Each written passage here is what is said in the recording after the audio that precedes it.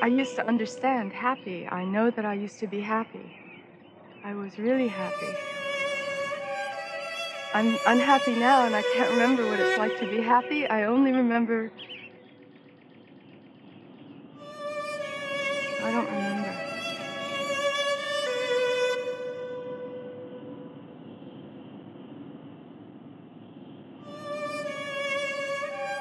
I remember being happy only in comparison to not being happy, which is what I am now.